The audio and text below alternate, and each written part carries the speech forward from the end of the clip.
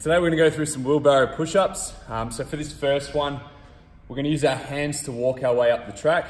Every third step with our hands, we hit three push-ups, then continue your walk and all the way back.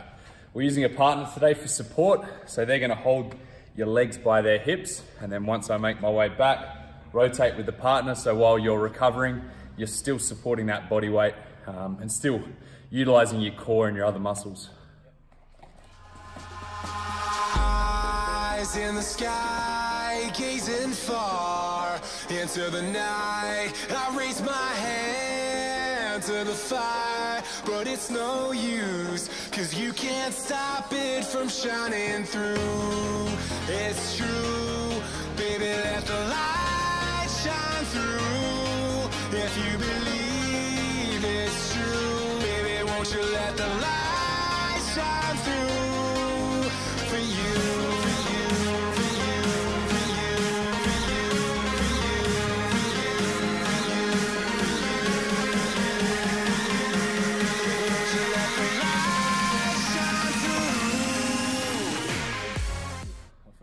We're gonna finish off today with a set of 30, 20, 10 of our stationary wheelbarrow push-ups. So the 30 refer to a normal shoulder width, uh, shoulder grip push-up.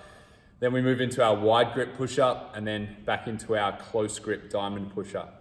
Still using our partner for support. So we're gonna rely on them to hold our legs up. Also relying on the person who's doing the push-up to hold their body as straight as possible in more like a plank position.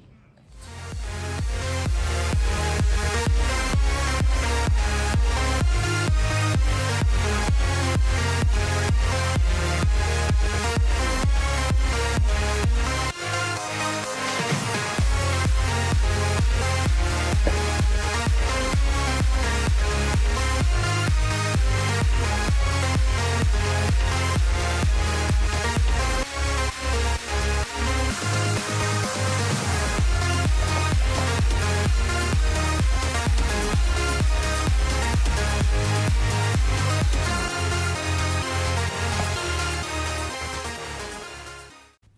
Well, you made it to the end.